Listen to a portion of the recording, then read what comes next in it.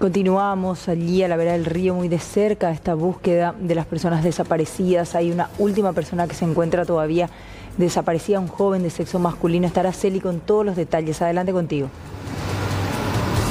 Mercedes de 16 años aún siguen buscando a Eduardo Caballero, que sería ya el último joven que se encuentra perdido en las aguas del río Paraguay en este punto a metros nada más de una cementera, también eh, cerca de lo que sería un canal importante. Y la zona en donde se está intensificando la búsqueda es justamente la zona en donde se encontraron los otros tres cuerpos eh, de Mónica Rivas primeramente, seguido de Mauricio Cabrera y en el transcurso esta tarde del hermano mayor de Mónica, Alberto Rivas, de 16 años también.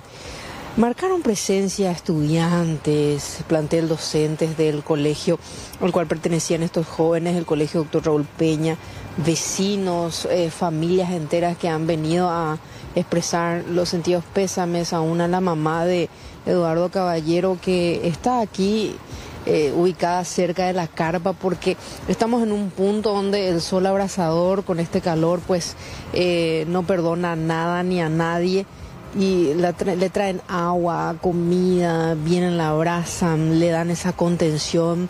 A ella la podemos visualizar eh, inclusive con una pierna sobre una silla porque sufrió una fractura hace unos días, nos comentaban eh, sus allegados. Nosotros mantenemos siempre el respeto correspondiente porque se la ve en un estado de shock completo. Imagínense la situación en la que ella se encuentra.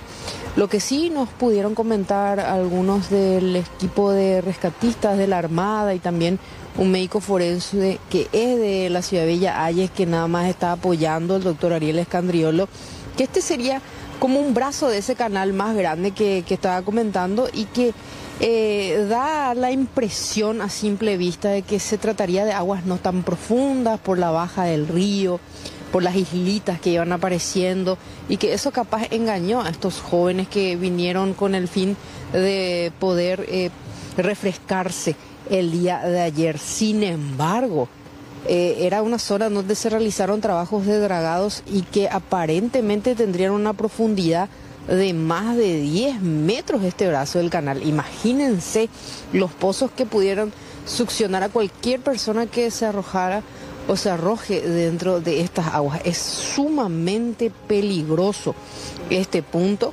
que eh, sí está ya censurado o inhabilitado para venir a bañarse en estas aguas. Lo que sí, continúa la búsqueda, un ambiente desolador, no solamente por el tiempo, por este calor, por lo que se siente en cuanto a energías, en cuanto a tristeza, eh, un silencio total y estamos acá también acompañándolos a la distancia, manteniendo siempre también el respeto y nuestras condolencias para toda Villa Ayes, porque toda Villa Ayes está acá, eh, Mercedes Aníbal, eh, siguiendo de cerca lo que es la búsqueda de este joven.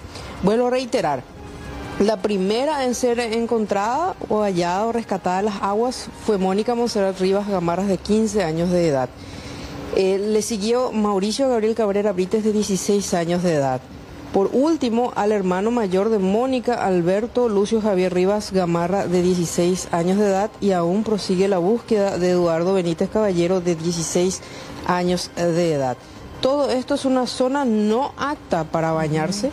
A 200 metros se encuentra la desembocadura del río Confuso, una cementera y canales en donde se realizaban dragados y por ende hay esos pozos de mucha profundidad. Sí, fueron rescatados los cuerpos en el mismo orden en el que se arrojaron. Realmente no nos engañemos. Que parezca playo no significa que lo sea. De hecho, está más profundo que de costumbre por los trabajos de dragados que se hicieron en estas aguas en donde se necesita para la navegabilidad. Así que ni siquiera en este tramo, como en otros, está permitido el baño. Con mucho cuidado acercarse al río que suele ser traicionero. Gracias, Araceli. Volvemos en instantes contigo. Estamos atentos desde aquí, hasta luego.